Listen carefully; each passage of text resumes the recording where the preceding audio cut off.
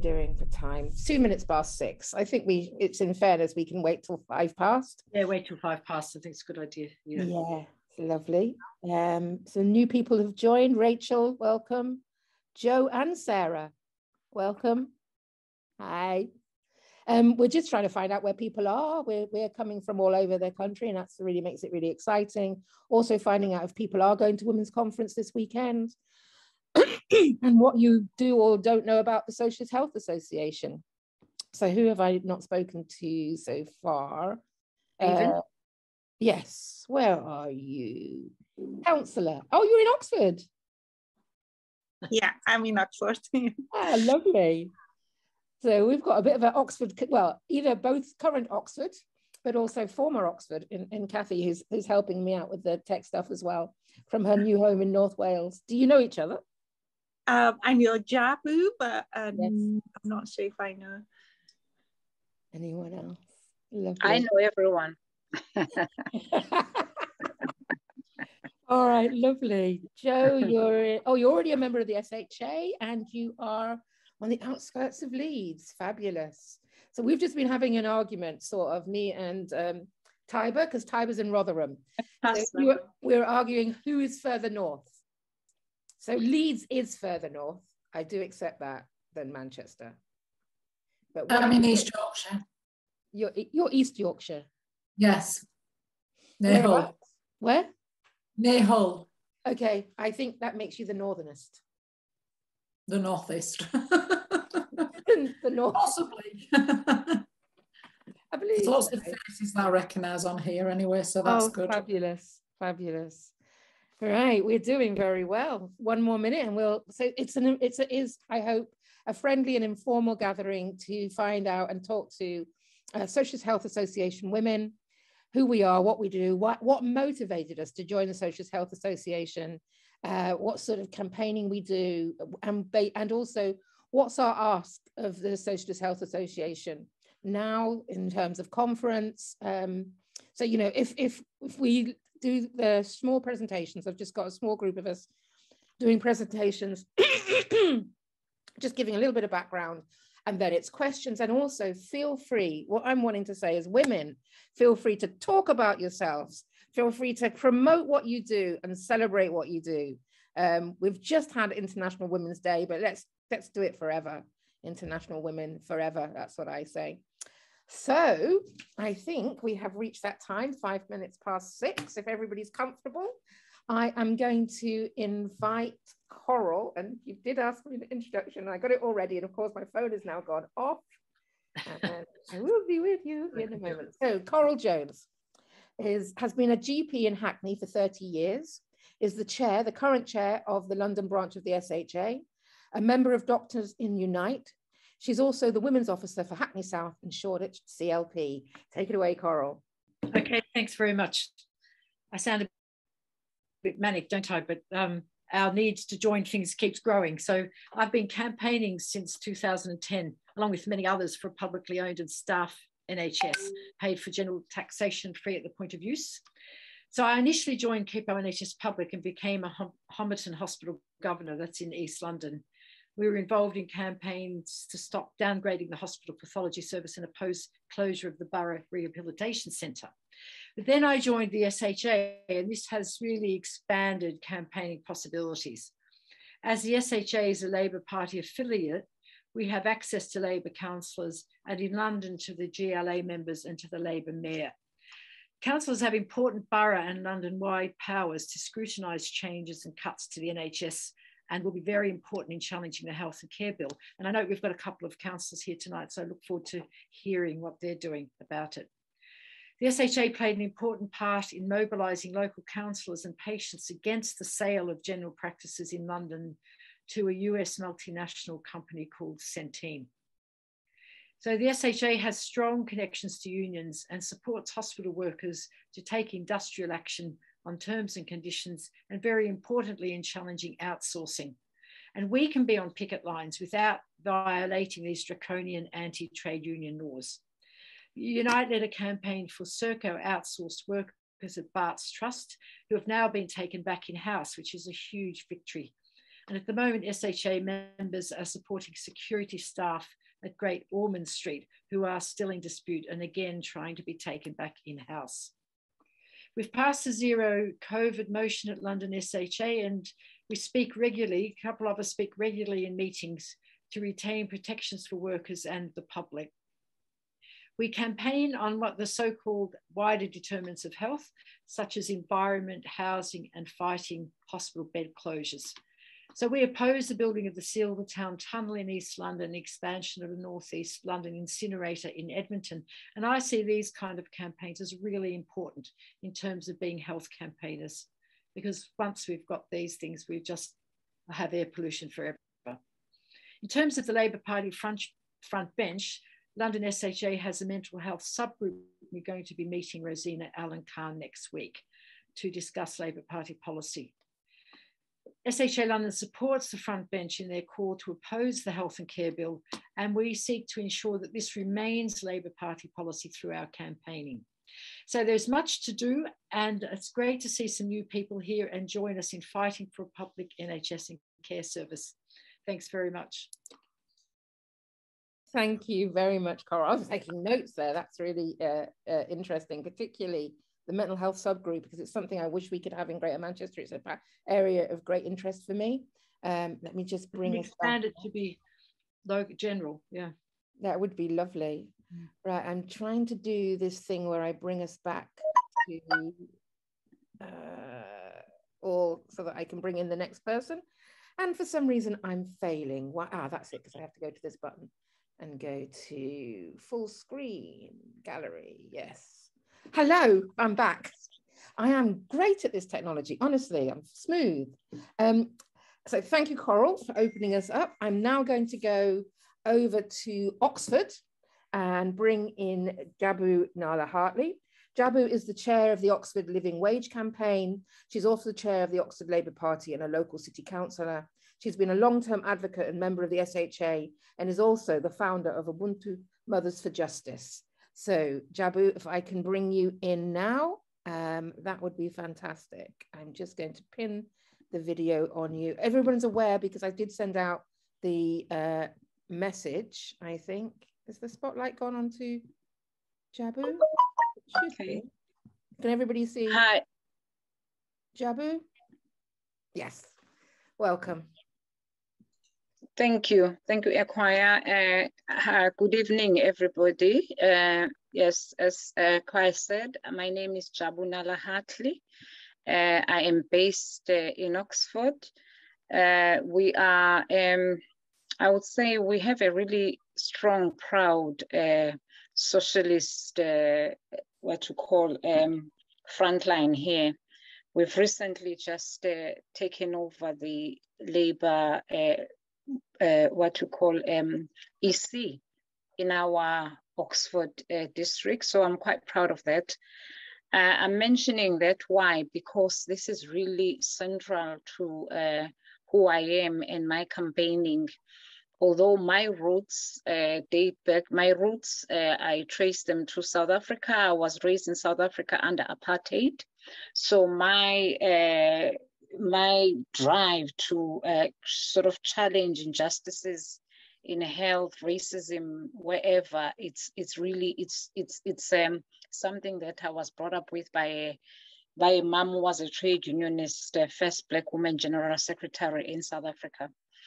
Um, the first thing I want to say is that I joined the SHA in uh, I think 2016 so I've been a member for a while, but one of the motivation uh, for joining SHA, I worked in uh, the NHS as a precarious worker for various uh, uh what you call source outsourcing um, companies, such as the uh, what you call um, Clarion, which was later uh, disbanded. Um, I've worked for the hospital itself as NHS. I've worked for the, um, uh, I've, sorry, it's just slipped my mind. But uh, I've worked as an outsourced worker, but mostly in not as a clinician, but in administrative roles and also as a, a cleaner. So I saw firsthand in um, how workers were treated in terms of workers working under the most horrendous conditions where they had no rights. The workers that were uh, contracted to work, their contracts were constantly under threat, but it was, it was even worse when you uh, came in as a, a, gig worker in terms of your uh, stratification where you could be dismissed at any time that sort of insecure insecure type of work i um, joined the sha because i was in, you know interested in this socialist health association. Anything that uh, uh, said anything about socialism i really wanted to know what exactly uh, was their angle on this uh, fantastic uh, system, which uh, for me, I grew up knowing that socialism could bring fairness uh, to our to our lives, especially as far as equalities and equities in some of our really downtrodden communities. So my campaigning is really, really quite broad because as much as I am part of the SHA, I am really uh, kind of focusing on different issues that affect our communities as far as inequalities are concerned. Uh, as as uh, said earlier, I'm the chair of the Oxford Living Wage campaign. So we campaign for the Oxford Living Wage, but it doesn't mean that we accept uh, the uh, what you call the speculated wage. We still we truly believe that um, the standard of living in Oxford is really expensive for for for low paid workers. So it needs to be really addressed in terms of how much uh, how much uh, people are paid here. It's uh, it's really sad. I was speaking to a friend of mine yesterday who works as an administrator who's now worried about um, the new energy bills where she talked about uh, she's worried that uh, after everything has been taken from her, she'll only be left with 200 pound a month. This is a worker. Uh, this is it, it's it's absolutely disgraceful that in the UK people are being pushed into that uh, kind of corner. And she's even thinking about she has to live in she has to leave oxford because uh, of the of the disparities that she has to she has to face uh, for her children and for herself. So i my my part of campaigning really uh, also means going up and down the country and just raising uh, awareness and, and, and just uh, instilling uh, jo joining solidarity campaigns to really try really trying hard to actually establish a powerful workers movement can fight for our rights and I believe it's got that element. But through throughout the sort of pandemic, we've tried to, we, me and some of my colleagues, we've tried to address this through various uh, issues, especially uh, the vaccines. I led on the Why Vaccinate campaigns, which were taking place in Oxford. I um, I joined the the strikers at the Banbury uh, JD, which was about the the, the, the, the fire and rehire. I joined the Royal Kingdom uh, workers in, in Reading who were fighting for pay pay uh, uh, pay rise and outsource against outsourcing. Uh, there's also plenty of campaigns in Oxford that have been taking place around this and Mungos and their outsourcing of workers. Uh, it, it, it, it's huge. Uh, we've woken up early in the morning with my colleagues, Mark, Mark Ladbroke, one uh, president of the NA, of the Socialist Health Association, uh, fighting for NHS pay justice and, and, and trying to show the frontline workers that uh, we stand uh, we stand with them. We, we, we stand with them in, in fighting for a pay justice. Yes, uh, I think it's really thank thank you, Jabu. Um, I, will mm-hmm. let you continue, but I think it's really important that one of the things the SHA does really well is it sees its position um, in terms of health, how it is how it's impacted by so many other issues and the sort of activism. If we can come back and dig into that a little bit more in the second half of the session, that would be mm. fantastic. Mm. Is that okay? Thank you okay. very much for your contribution. Right. So I'm going to come back out um, to the gallery. And I'm going to invite our third speaker, so uh, Teresa Clark. I've got this list here. Oh, I've also got a new phone. So Teresa Clark is the current chair of the Women's Conference Arrangements Committee, WCAC, or as people call it, and is on the ballot to continue this year. She was one of the key instigators of the conference being reinstated and led on the Telford AWC 2019, which I didn't get to and I hear all the time. Women just so thrilled about that first in-person conference after such a long time. So I try not to listen, listen to it because I just get jealous. Um, she's just joined the SHA to help us battle for health and social care equity for all. Uh, over to you, Teresa.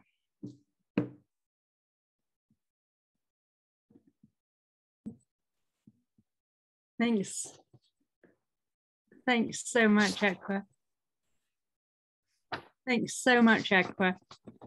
Thank you all for being here and thank you SHA for inviting me. It's my daughter's birthday today. She's 35. 35 years ago, to the beloved day, I gave birth to my daughter and the hospital bed broke apart underneath me, and there were no epidurals left. The NHS was underfunded in 1987, and it still is in 2022, with privatisation an ever growing threat.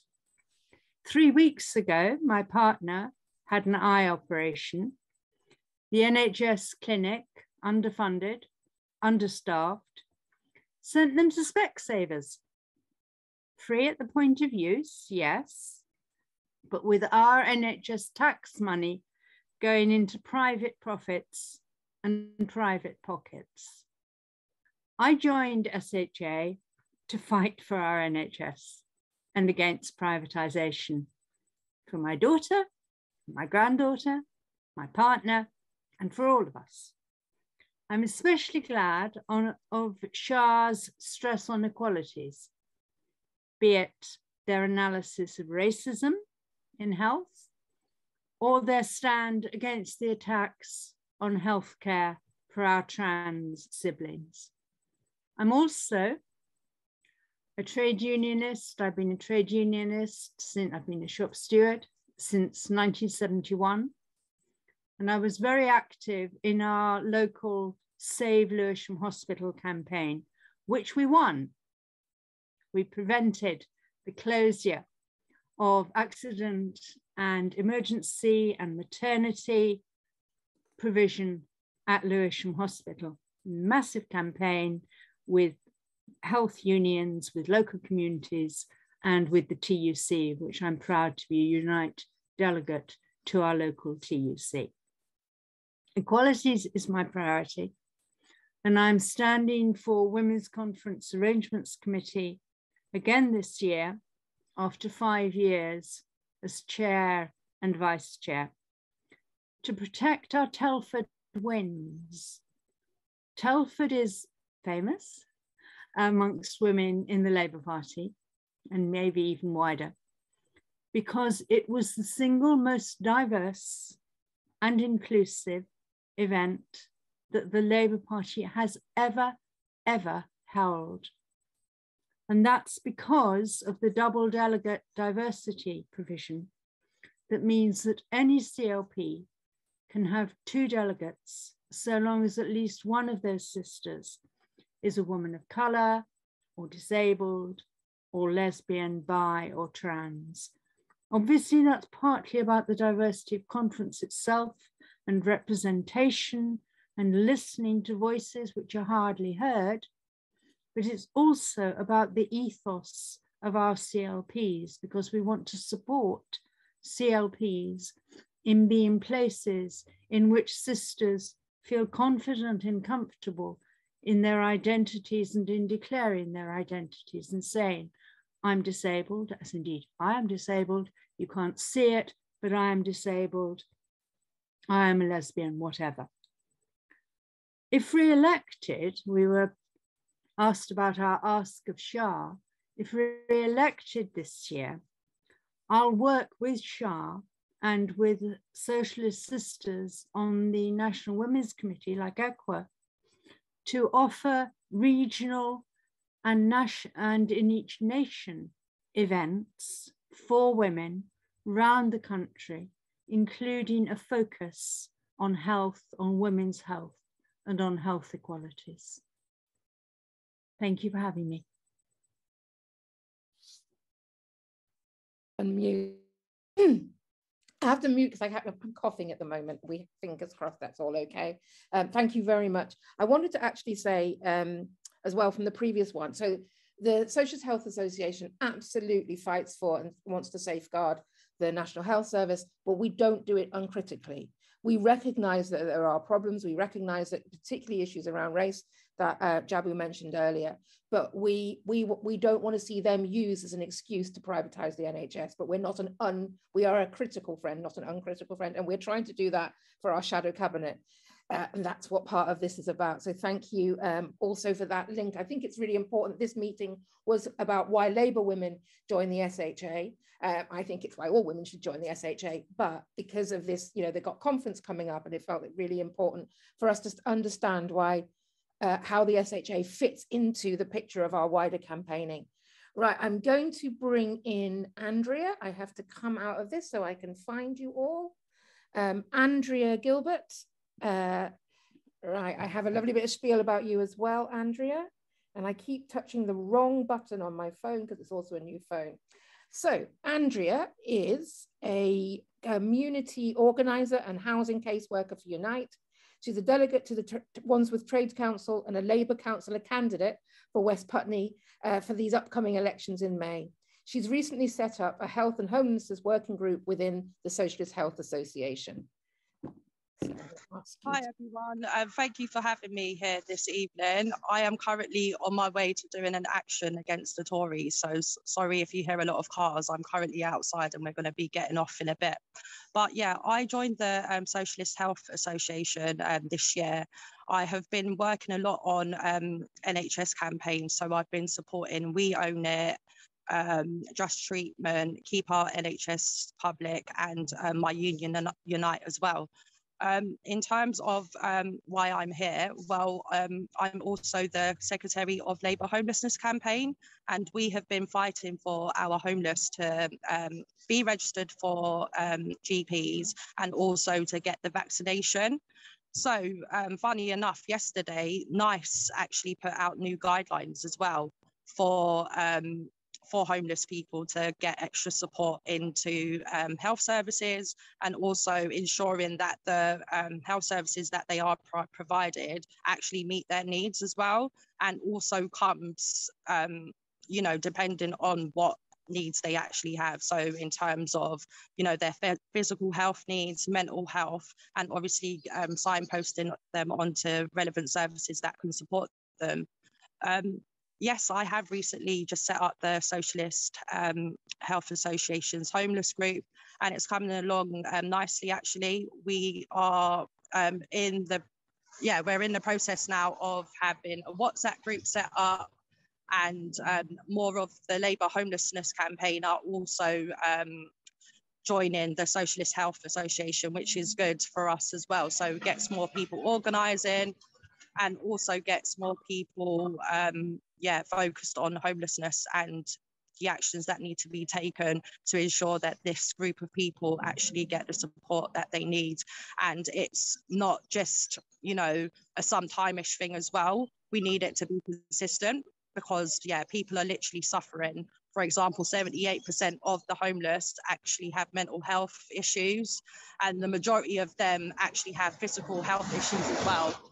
So um, yeah, that's pretty um, pretty much it from me. But if people do want to join the WhatsApp group or um, yeah, join us in what we're doing, then um, please get in touch with the Socialist Health Association and they will forward it on to me. Thank you. Thank you, and good luck for where you're going. I'm assuming you're having to get off now. Thank you, Andrea, very much for your contribution. We probably have a, a couple of other people coming in. Sorry, let me just uh, go to the gallery again. Um, who are out and about on activity. I know, I'm not sure if Irene's joined us.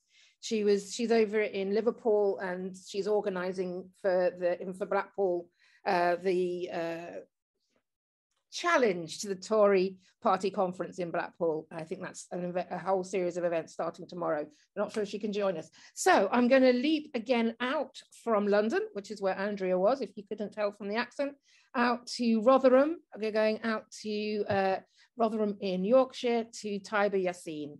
Taiba, are you with us? Hi. Yes. I am. Hi, everybody. I'd quickly left just to go and get a drink.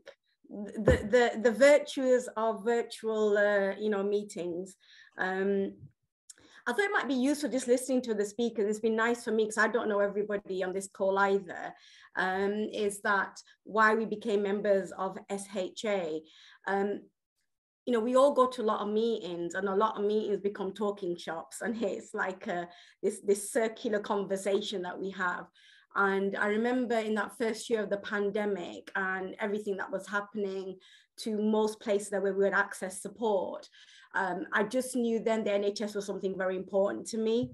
Um, and um, that inspired me to join SHA because when I did my research, I'm really interested in joining policy forums that have a, have some influence. Um, otherwise, we're literally not making anything happen. We still it's still nice to speak and give solidarity to one another, but also now we need action with that conversation. And that's what eventually doing a lot of research. And there was a lot of call out to have more diversity in, in, in SHA. And I can only talk about the kind of more Yorkshire kind of perspective on this, um, that I, I responded and I, and I joined. Um, I should give you just a bit of background. Uh, I work for the University of Sheffield. I actually work at the medical school. I help to run the programs to represent underrepresentation in medicine. So that's kind of, uh, it's, it's nationally known as widening participation. So that's kind of the area that I work in. Um, and uh, I also am a counsellor uh, in Rotherham. Uh, I was inspired to go into politics after my, in my town where I've, I've, uh, I've lived here for most of my life. We failed local people. Uh, we were known for uh, CSE, which many of you read about, child sex sexual exploitation. And that really was, I'd been a member for probably over 12, maybe 13 years at that point. Um, and that was my kind of slow journey into maybe I need to become more active. So that's how I got into politics. Um, and now it eats up my entire life, I feel like. um, that just gives you a little bit of perspective. And my historical background is volunteer community sector. So when I joined SHA, interestingly, I was talking to a lot of my students. I'm in a quite a privileged position at work. I can talk politics, the nature of the work, and low level politics, obviously. And um, interestingly, the, the vice chair of the Yorkshire and Humber part of SHA was until last year a student of ours at the medical school. Um, and with him, we created this idea of going out to different CLPs and said, look, if we're trying to the reason I came into SHA was to how can we strengthen this idea of influencing policy around healthcare, then actually we need to educate people more around this possible forum.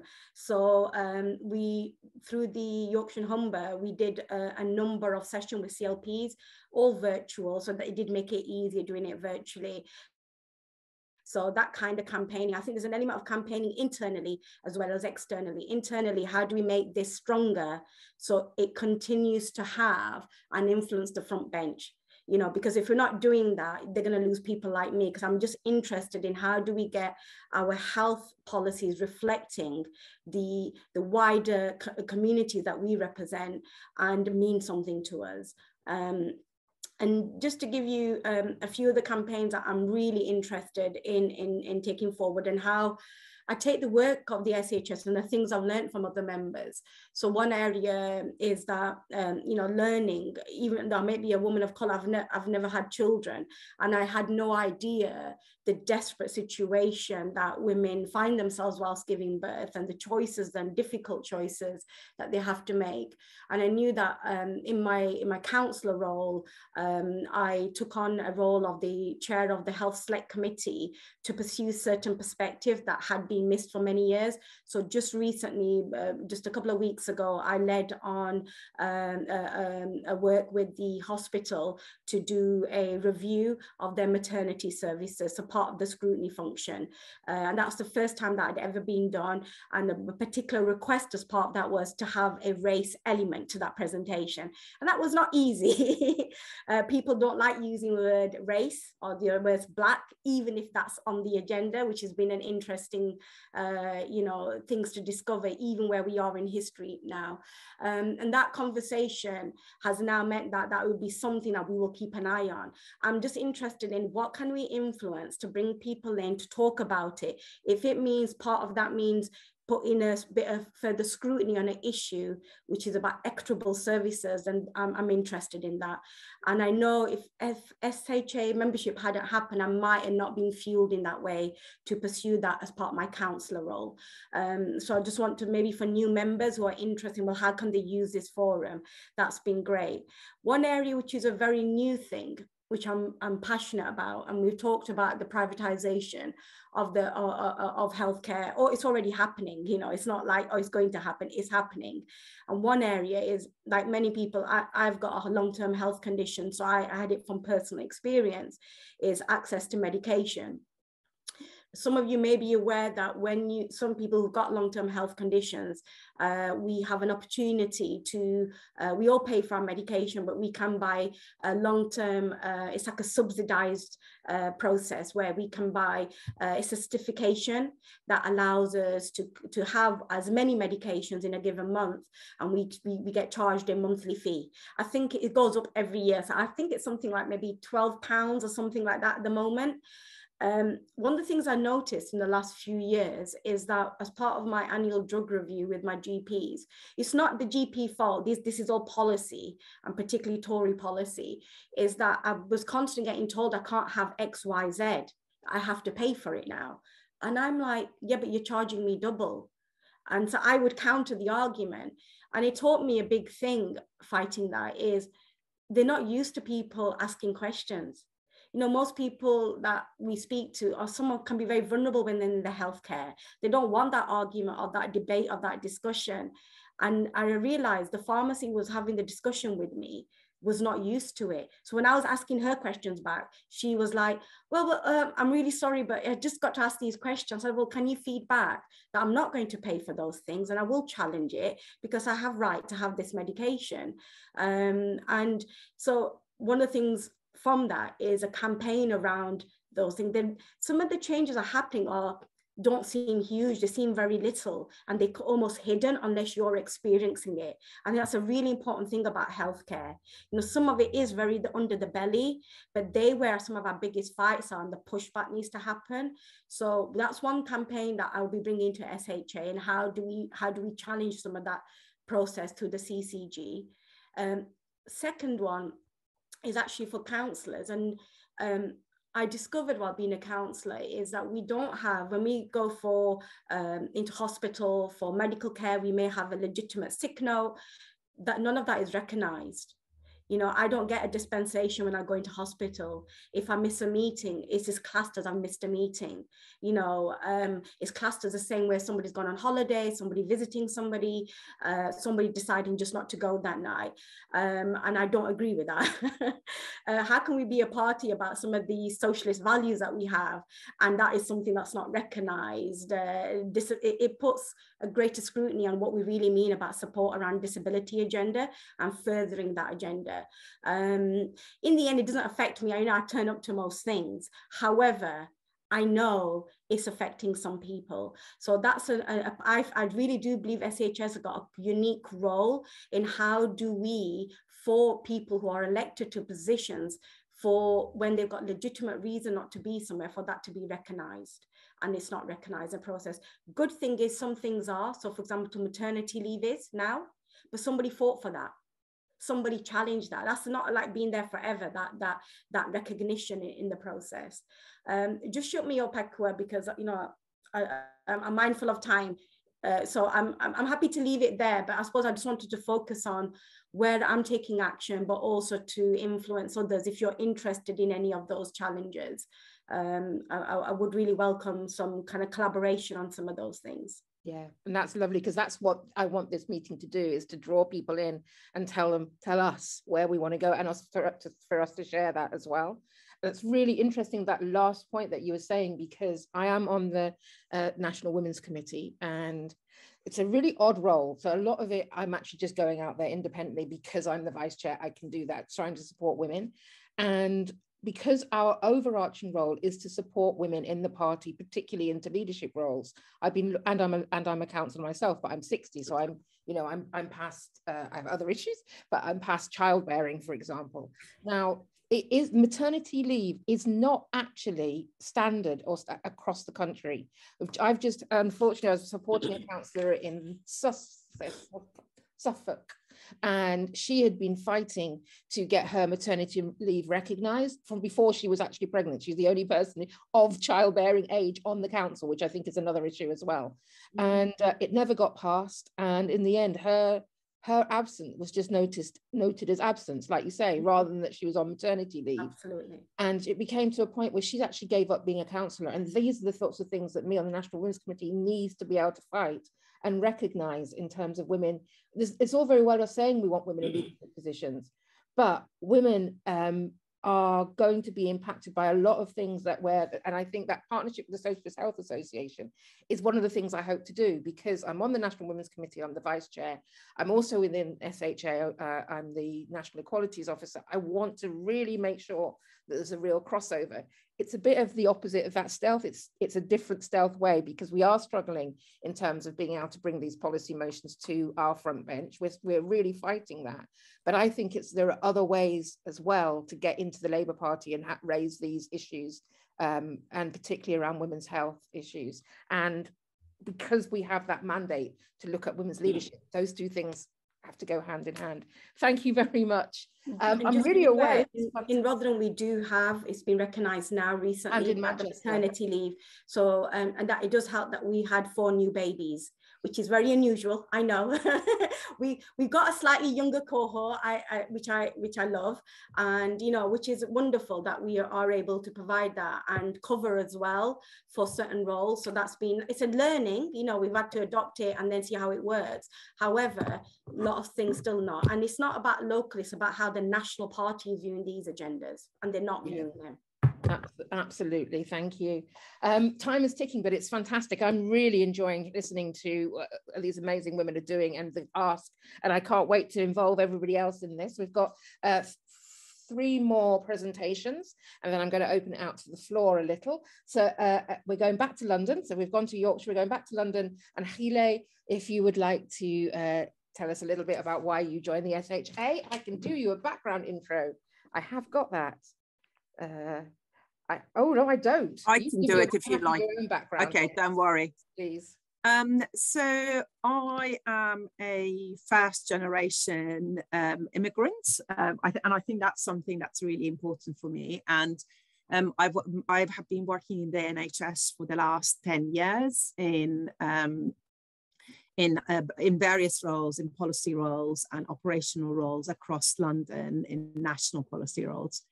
And uh, what I I think what is really interesting, and I and within the SHA, actually, I'm the um, I'm one of the vice chairs of the national SHA, and I think one of um, so what is really interesting for me is that NHS is something um, that I have a great love and admire, admiration for, and it's I think in some ways, if you have used the health service in other countries, uh, then you tend to appreciate NHS more. That kind of um, so I have lived in America uh, for a year with my family um, in the last 10 years. And also I'm Iranian, where we've got a very, uh, for the most part, we've got a privatized healthcare system. And actually, the relationship that you have, you have with your healthcare providers within the NHS really um, is something that you really value. It does, you know, you, when, when your doctor or your nurse or any other healthcare provider tells you something, you don't necessarily need to believe them, but you're, what actually, uh, and they might get it wrong sometimes, and they often do. But what is um, what will always be true is that they are giving you the best advice possible in the context of what they think is for your health needs rather than what would fit best within your, the context of your health insurance and all the other disparities that might be happening. So in that context, when you have used other healthcare systems, you really appreciate the NHS. But what we do have a real problem in, in the NHS, both in terms of employment, employment rights, and also in terms of um, how we treat our patients, is a real disparity and racism and inequalities that um, uh, that you know it's a day to day and the inequalities that you face within the NHS um, as an NHS worker if you're a person of color then that translates itself in the care that you provide for people. So I can give you an example in, in the in, in the NHS um, um, in the in the mental health um, um sector a lot of our um, in fact I was going to say a lot of our nurses, a lot of our mental health nurses tend to be from um, very diverse ethnic background. A lot of, particularly in London, we've got a, a lot of Black or Asian nurses. And in fact, that pretty much applies as well. Psychiatry specialities, which has a high proportion of um, Asian um, Asian doctors.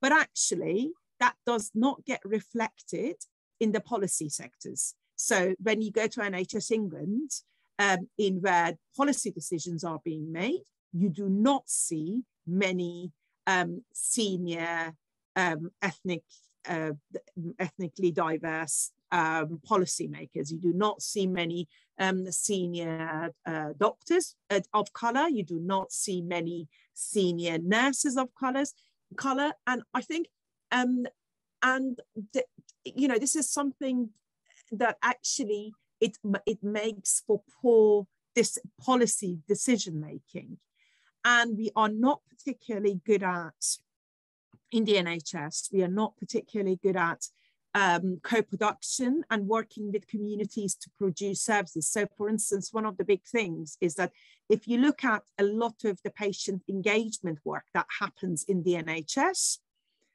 um, you would be hard pressed, and this is London, that, I'm talking about London in an incredibly ethnic, diver, ethnically diverse city. You'll go to patient uh, representative groups. Often they are, um, they're often men, but actually a lot of white middle class men and women of um, kind of retirement age. This does not represent me in any shape or form. And it's important. It doesn't represent me as a um, mother of a young family.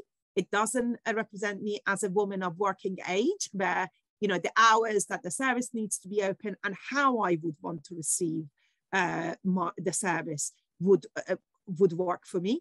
And it doesn't represent me in terms of um, in terms of, for instance, my, uh, my uh, religious identity or my, my other kind of ethnic identity. So, for instance, one of the issues that has been a big um, thing, and if you speak a lot um, about um, uh, with, with doctors of um, who, um, um, you know, doctors who deal with end of life would tell you that we are, our how we organize end of life conversations, end of life, preparing the family and preparing the person.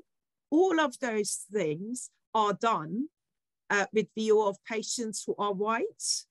And it's not surprising because if all of the conversations are happening with people who, who are white, then it's not surprising that then the experience of people of color is very, very different. Um, so that's where I've been interested in the SHA. I think, unfortunately, the Labour Party is I have to admit, I'm as a Muslim woman, I feel that it's an incredibly Islamophobic party. and I think that that has been my personal experience, and it's an experience of you know the, the latest report by um, um, um, Muslim Labour Network seems to to to say that that's an experience of a lot of Muslim comrades, and I think it is really important in us uh, for us to actually push uh, the health agenda in that direction as well. We already know what happened during COVID.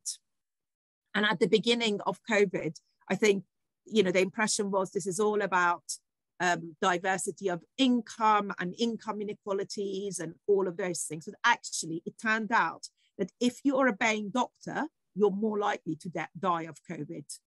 A BAME doctor is probably getting, the, you know, even if you're a consultant, a BAME doctor, you're more, you are more likely. And all of those things are things that I think is the duty of SHA and due to our campaigning. And that's that's that's where my interest is. And I run the um, race and racism group within the SHA, and I would be keen to have these discussions with anyone who is interested to have them, or if they would like to join the group.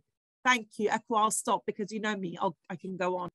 No, thank you. And that, yeah, absolutely. I think it's probably being clear. We have a series of structures um, in the SHA that were set up uh, last year by the, the newly elected Central Council, looking at specific areas of interest. So earlier, um, uh, Andrea was saying about setting up a new one around how, um, health and homelessness.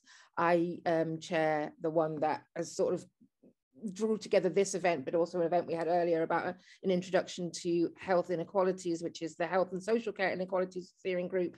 There are, there are numbers of others. Some of them are very practical, some of them are about campaigning generally, about comms, but you know, there's a lot of opportunity within the SHA to actually uh, get involved and do stuff. So um, I know that um, Akile's uh, invitation to join the, the race and health group is, is a genuine one. And if you're interested, she would, she would welcome you.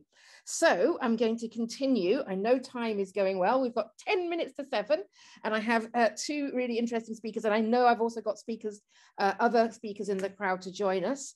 Uh, in the crowd, the crowd. You, know, you can tell I, where am I at a sort of concert or something, uh, somewhere wonderful, and not being able to operate how to change my view. Um, so I'm going to ask Catherine uh, so we're coming out of London again and we are going to recently arrived in Cardiff, but Wales based since I've known her, uh, Catherine Thomas. I'm going to let you introduce yourself. Is that okay, Catherine? Yeah, of course. Um, it's absolutely terrific to be um, in such an enthusiastic and interesting bunch of women. It's brilliant. And I have to say, because I, I first got involved with the SHA probably in the early 90s um, and was a council member from 2018 until I resigned in 2020. And some people might understand why that happened. But I mean, the, the uh, number of, of younger women who've joined the SHA and the diversity, I mean, the energy, you can feel it. And I think the SHA Council average age has dropped significantly. And that's what we really needed. You know, you can get a bit moribund if it's just people my age, you know, and older, because we've seen it all before. And we don't have the ideas and we don't have the enthusiasm. So it's brilliant to hear younger women coming in and and you know taking up the baton um, because when I joined the SHA I, I, I qualified as a doctor and hated it I hated medical school I hated working in hospitals and then my turning point came when I went to Princes Park Health Centre and some of you might have heard about the inspirational health centre in Liverpool um, and I wanted to plug the book by my uh, GP trainer, Dr. Katie Gardner, she's written a book um, with Susanna Graham Jones called uh, A Radical Practice. So if you Google that or look on News from Nowhere, the Radical Bookshop in, in Liverpool, um, and that was absolutely inspirational and packed full of ideas of how we can do public health and primary healthcare, how we can do healthcare in general a lot better. And we could really kind of go back to what's worked in the past um, and that we've kind of lost in the last 10 years. Um, so yes, then I then I fell in love with general practice and worked in in um, Liverpool for, for many years and then moved to the Welsh Valleys back home to Wales in the Welsh Valleys. Um, and really it's been a combination of, of learning that um, what really matters is community, is relationships, is social networks, isn't it? And that we organise together as communities um, that are open to everybody, know that we are, we welcome everybody and we build relationships and take things forward positively. And then we put in place public services that are full of people who are able to do the best that they can um, supported to do the best that they can. And I heard somebody yesterday say the most powerful thing as a service provider, whether that's in the health service or anywhere else, is that you are a person who gives a shit. So, you know, when any of us go and use the service, we want to be talking to somebody who cares. And that's the first thing, isn't it? And then you want them to be competent and capable and all that as well. But so I think that those are the two big things and why I've kind of gone between general practice and public health because it's those two things. What do you do for a population in a place and what do you do as an individual um, health carer? So the, the only other thing I want to say quickly is um, that you, we can really learn from the devolved nations. And Alison here, Alison Schooler is a chair of SHA Cymru Wales. I have to say, it's great living in a country where you've got a government that's been left of centre since 1999. So policy and strategy is um, is great. We're maybe not so great at implementation sometimes, and some of that is because you're working against a Westminster government, and some of the policies uh, just you just don't have the power to be able to make a difference. Um, but also we struggle with with um, funding. You know, strategies are great, but unless you have the money, you you know you can't make your health service as good as you, you, you, want it to be. So, but you know, in in Wales and Scotland, and uh, we are trying to to um, to do the right thing. And it's a great pleasure to be in an SHA where you've got politicians and assembly members who are members at the SHA and active in the SHA. So um, yeah, if we can share that uh, a, a bit more, that would be great. So I don't want to say any more because I know we're running out of time, but go and buy a radical practice, lots to yeah. learn from that. Fantastic. Thank you very much. Um, I'm going to bring in um, Barbara uh, Bar Barbara from um, London now, but I'm really aware that Alison is in the audience and also Kathy's also in Wales. Um, so uh, after, but it's really important to hear from Barb. Uh, she's a, a, disability activist uh, involved in campaigns across the country. So we're going to bring in Barb now and we will have uh, a chance to talk with her and then see I'm I'm happy to stay on for another 10 minutes, but um, I also want to wrap it up. So it's over to you for your presentation, Barb, and then we'll see where we are with everyone else. Welcome. Hi, thank you, Kira, uh, and thank you for hosting this uh, important fringe event. Yeah, um, I was actually a nurse in my younger years before my health problems, disabilities prevented me from doing that. And then, but since I was able to get online uh, in 2010, 2011. I joined the Labour Party in 2011 and I gradually got more and more involved in disability activism through the Labour Party. I'm disability officer, I've been disability officer since 2018, but also in um, disability labour and groups outside um, the Labour Party structure, such as DPAC. I'm also um, involved with my uh, Unite Community Hackney and Islington branch. So I say I've been trying to make points for quite some time now because sadly women are still being disfranchised by their male counterparts in all walks of life. And it's even harder when that woman is disabled, fighting for acceptance and accessibility on all platforms in society. And disabled have borne the brunt of Tory austerity, and before that, I have to say, you know, Tory austerity for at least coming up to 12 years. We've been hit by financial hardships. Disabled women have taken their own lives you know, in desperation because they just can't take any more cruelty from the DWP. And the whole benefit system is a disgrace, which is one of the things I've been involved in is scrapping universal credit, both, both through Unite and TUC Disabled Workers um, Committee, and also with my own Labour Party passing a motion to scrap universal credit. And health inequalities, disabled, disabled face. I mean, during the height of the COVID pandemic, DNRs were placed on them without either their knowledge or their family's knowledge. You know? So, and now we've got um, the you know, we're suffering, um, you know, poverty and fuel crisis because of the rising cost of living. And again, it's women who are more likely to suffer most than their male counterparts. You know, facing the choice between heating and eating. So anyway, I joined the SHA back in 2018, um, partly because as a socialist, I wanted to see socialism put back into the Socialist Health Association, but also disabled women's voices need to be heard now more than ever. And I believe the SHA can be that campaigning vehicle as we try to tackle these health inequalities and benefit inequalities, which will directly impact your health, depression and suicide, mental illness and stuff. And and also, you know, we do need policies. And we need policies to be developed at every level with us as equals, not top down and sorry, bloke influenced.